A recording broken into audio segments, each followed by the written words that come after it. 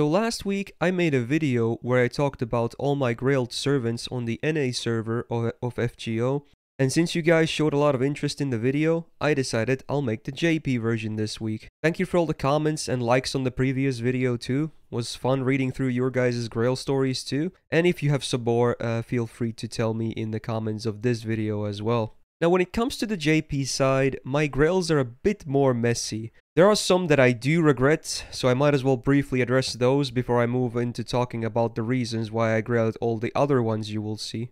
So the ones that I regret the most are my level 100 Sieg and my level 90 Phantom. I genuinely dislike both characters and the only reason they got these grails is that I kinda sold out many years ago and made stupid promises. On hindsight, this was definitely not worth the money I got back then and I wish I could undo them, but it is what it is. Not really gonna get into the details more than that. Now another side note is that I actually have a level 90 Grailed Astraea as well, but that one isn't a mistake because I still love her a lot, I just gave her more focus on the main NA side of things.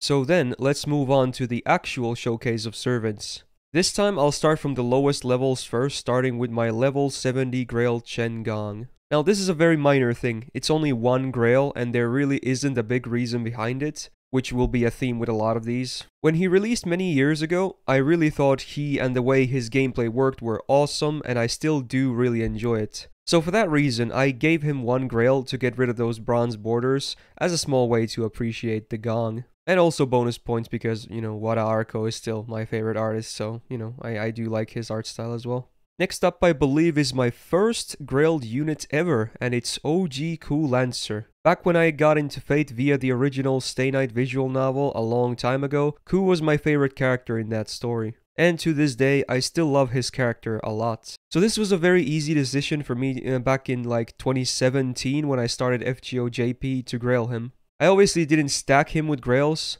just gave him two to get a nice golden border for him. I think one of the main reasons I didn't go until like level 100 is that back then I didn't want to look like one of the people who were grailing him because he was, uh, you know, being a great unit, especially among the low stars. So having only given him two grails, it doesn't really make him much stronger at all, but it still shows that I really appreciate him. And if you saw my figurine showcase from a couple of weeks ago, you probably know I also have a badass fig of him too, and it's also my only fig of a guy, so yes indeed, I really like this dude.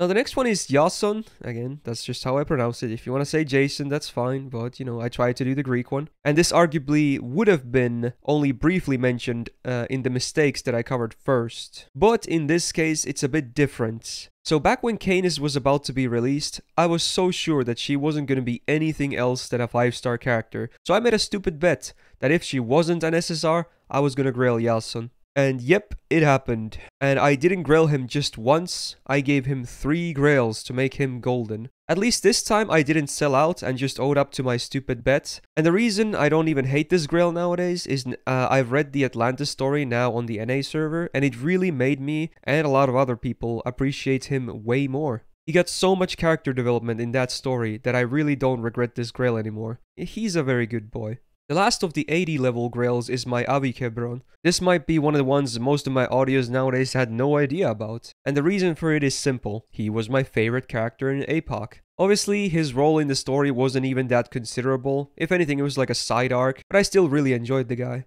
I also love his cool, unique magecraft of creating golems to fight with. And not to mention, he was really cool in Lost Belt 1, which made me appreciate him even more. And his VA is also one that I love. His calm and collected voice just makes me smile.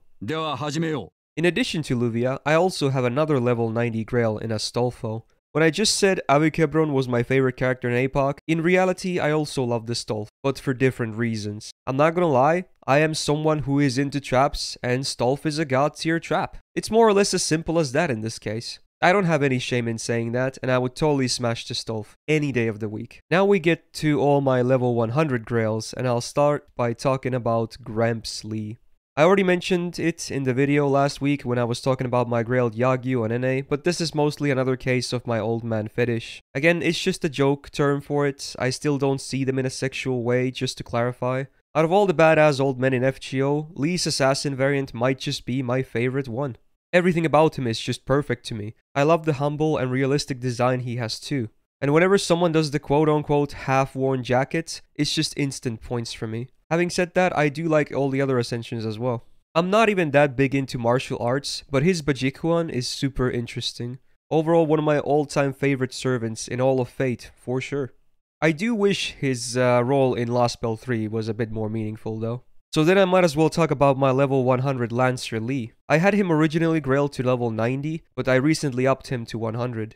My love for him is mostly for the same reasons as Assassin, minus the old man part, but in addition to me liking him for being the same guy, I also thought he was cool as hell in Fate Extra. In that game, he is an assassin, but it's the younger version instead of the Gramps version we have in FGO. So already back then I had taken a liking to him, which led me to enjoying the Lancer variant in FGO as well, even before Assassin was even released. So all in all, I love Li no matter young or old, Lancer Assassin, or anything in between. Next up, Tamamo Lancer. She is my second grailed servant ever, pretty soon after I grailed Cu. Now for over 3 years, she was only grailed to level 92, because I originally thought every grail gave you 5 levels based on the grails I did for Cu, so being the noob I was back then, I was kinda shocked to see that you needed 5 grails total to go from 90 to 100. And I wasn't really feeling committed enough to use 4 more grails to level 100 her. So she was kind of my noob mistake for many years until earlier this year I finally decided to go the rest of the way. She does still have one of my favorite summer servant designs and I also love wet t-shirts.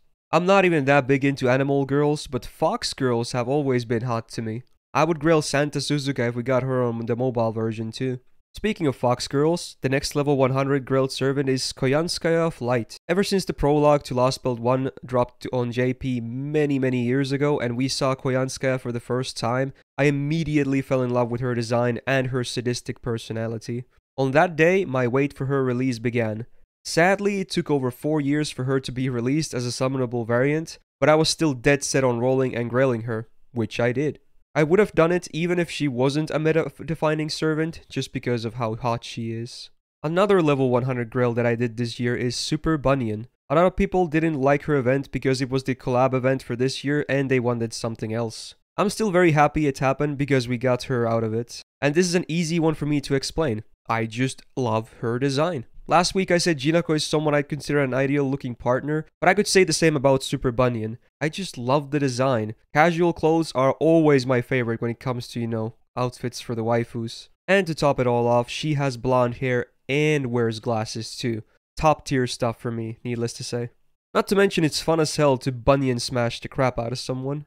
This is a big one. Ashiya Douman. Oh, how I love this guy. It's one of the cases where you either hate or love the character. Personally, I think he's a great antagonist in FGO, probably one of the best. Whenever he shows up in a story, I become more engaged with it. And once again, I adore his design. It helps that he's also drawn by the same artist who designed Yagyu as well, one of my other favorites. His design is a great mix of cool, unique, and sexy. And to top it all off, he shares the same amazing voice as one of my favorite villains of all time in fiction. Seimei! Save me! I just can't help but love this man. And last but definitely not least, Summer Anastasia. Most people watching my channel know about my complicated relationship when it comes to the Grand Duchess. I've always been on the fence about how much I like her, and before the summer version was released, I had stated that if she ever gets a very nice looking summer variant, I might finally give in. And that's exactly what happened last year. It also helps that because she seems to enjoy showing up to me, getting her to NP5 didn't prove to be very difficult at all as a bonus. And who knows, maybe I'll uh, end up giving in to her caster side too. You never know what the future holds. So there you go. Those are all my grailed servants on the JP side of FGO. I hope you guys enjoyed this, and if you did, press the like button as these require quite a bit of effort to make, so I would really appreciate that. Also, do tell me about your Grail stories again in the comments of this video and remember to subscribe not to miss out on any other fun future videos that I post weekly. With that, I hope you guys have a great rest of your day and a peace out.